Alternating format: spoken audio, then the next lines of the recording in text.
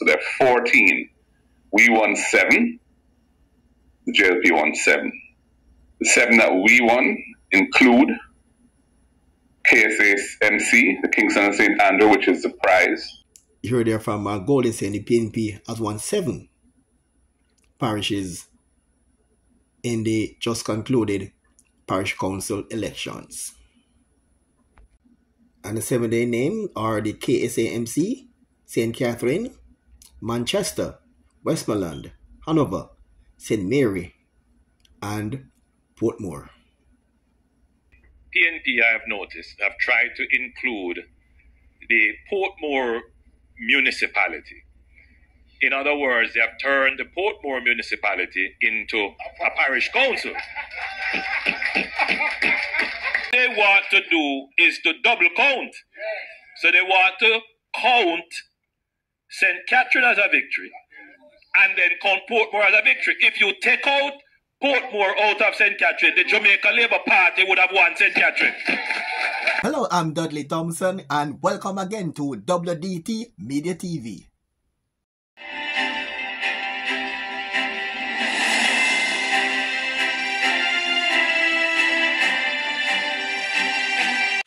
Welcome back to WDT Media TV. I'm Dudley Thompson. The just concluded elections were held in Jamaica on February 29 is still a matter of contention. A cloud of doubt and mystery surrounding which party came out on top at the polls.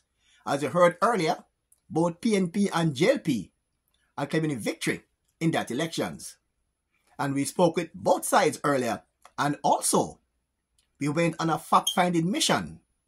We directly contacted the EOJ to get some clarity as what transpired as to why both PNP and JLP are claiming that they are victorious in that elections.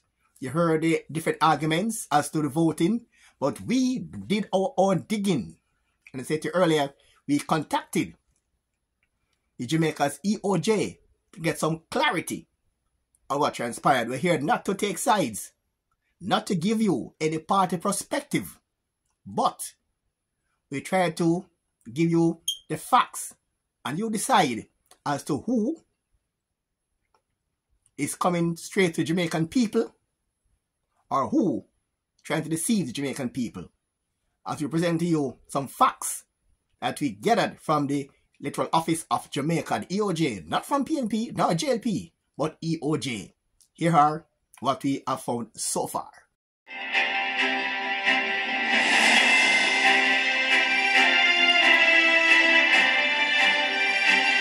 We won seven. The JLP seven.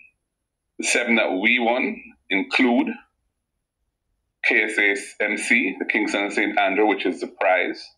You heard there from uh, Golding saying the PNP has won seven parishes in the just concluded parish council elections. From Mark Golding saying the PNP won seven and the JLP won seven. But according to this release from the EOJ, and it says here, the Jamaica Labour Party candidates have won the majority of the seats in seven parishes, while the PNP has won five. But here Mark Golding saying the PNP won seven and the JLP won seven. And Mark Golding is claiming that the PNP has won KSMC. And you can see there in the very last column, you can see there it's saying Kingston St. Andrew, JLP 20, PNP 20, of the all 40 divisions. That meaning 20 all is a tie. So look again, the very last column, Kingston St. Andrew, JLP 20, PNP 20 of the fourth divisions. That means a 3 all in Kingston and 17 all in St. Andrew. So it's 20 all across the board. So the PNP is claiming a victory, while EOJ is saying this one is a tie. Wow. We won the city municipality of Portmore. You heard Mark Golding saying that the PNP won the Portmore municipality. But looking at the EOJ document here, Portmore is not, is not listed as an electoral division, only the 14 parishes. So I put this question to some JLP and PNP affiliates. I asked them about the exact same question.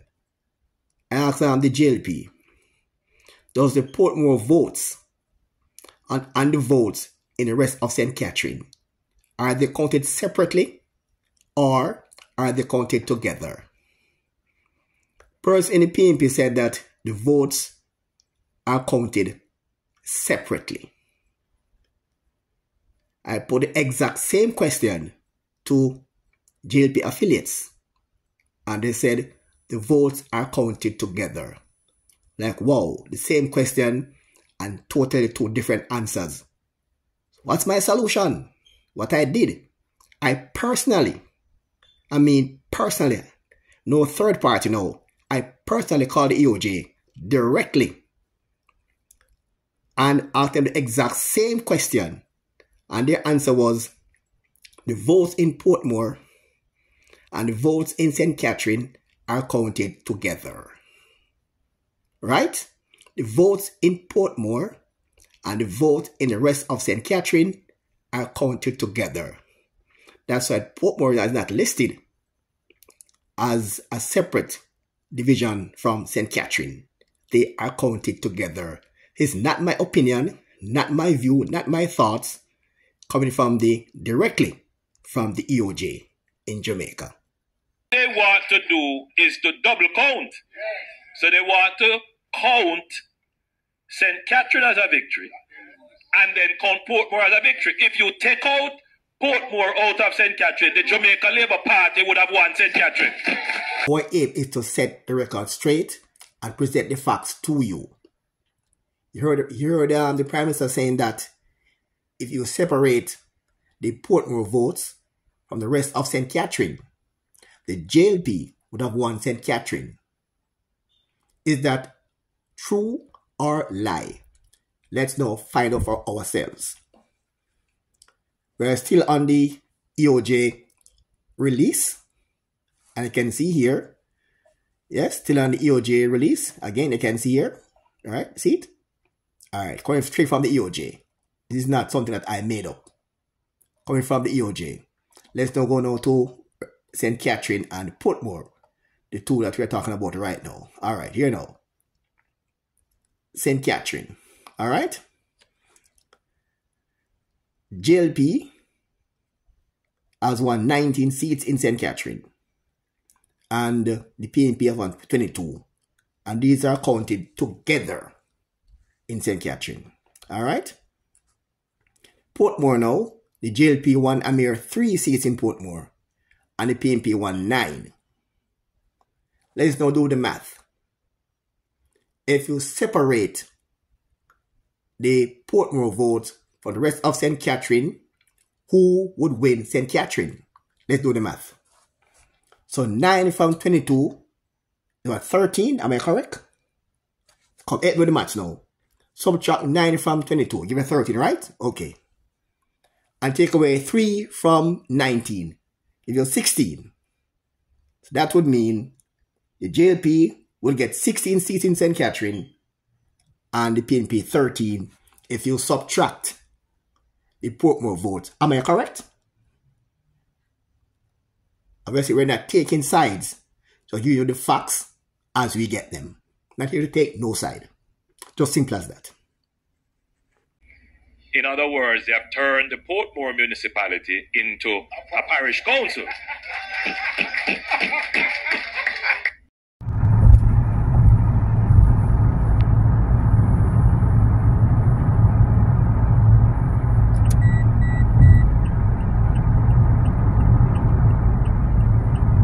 release from the EOJ, and the EOJ is the Electoral Office of Jamaica. I have 7 Duke Street, and here are their numbers. You can call them to verify the contents of this letter. All right, so this number, you can call them to verify what I'm saying. It's not my opinion, it's just facts from the EOJ release. And it says here, It was released on February, February 29, 2024. All right. Final count completed for all electoral divisions. And it's in Kingston, Jamaica. The final count of ballots for all electoral divisions for local government elections was completed on Thursday, February 29. That include all the ballots for the mayoral elections and the municipality of Portmore. All right? With all ballots counted, the results indicate that, listen carefully, the Jamaica Labour Party, the JLP, candidates have won the majority of the seats in seven parishes, while the People's National Party, the PNP, has won five. So, again, for clarity, the JLP candidates have won the majority of the seats in seven parishes, while the PNP has won five. Kingston and St. Andrew ended in a tie, with the PNP and the JLP winning 20 seats each. The PNP won the majority of the divisions and the position of mayor of the municipality of Portmore. So now, this table does show a summary of the event. Here now is the parishes, the JLP column and the PNP column, and the total divisions in the total electoral divisions. So you can see St. Thomas, they won six. No, the JLP won six in St. Thomas and the PNP won four out of 10 divisions. Portland, the JLP won seven, the PNP won two. So in St. Mary, the JLP won six, PNP won seven. St. Ann, the JLP won 11, the PNP won five. Trelawny, the JLP won 6, the PNP won 3. St. James, JLP 11, PNP 6. In Hanover, it's a PNP clean sweep. None for the JLP and all C's go to PNP 7. Westmoreland, the JLP won 3, 11 for the PNP. St. Elizabeth, the PN, JLP won 9, PNP won 6. Manchester, the PNP, is it Manchester? P, Manchester, the PNP won 3, JLP, no, the P, JLP won 3, I beg your pardon. PNP won 12. In Clarendon, the JLP won 12, PNP won 10. St. Catherine, the JLP won 19, PNP 22. And you can see there, KSAMC Kingston and St. Andrew, it's a tie. The PNP 120, JLP 120 out of the 40 divisions. If you, can, if you can look here carefully, there is no mention of Portmore separately. And this part is very important. Why? Because today at 3.45, I personally called the EOJ office and asked this question. Say, for clarity, let me understand for clarity. The St. Catherine Division, the votes in St. Catherine and Portmore, does it count separately?